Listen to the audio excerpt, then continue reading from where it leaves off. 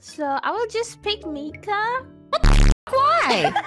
Because I always associate you with that fish who choke on carrot thing. Oh my god, I love that fish. wait, uh, wait. Wait, no, no. I kind of, I kind of wanted to do the noise. no, but you have to voice it. Where's my my, God. Where's my sound effect? Oh yeah, okay, okay, okay. I'll do my best. Uh, wait, let me hear it again. Okay. Okay, okay.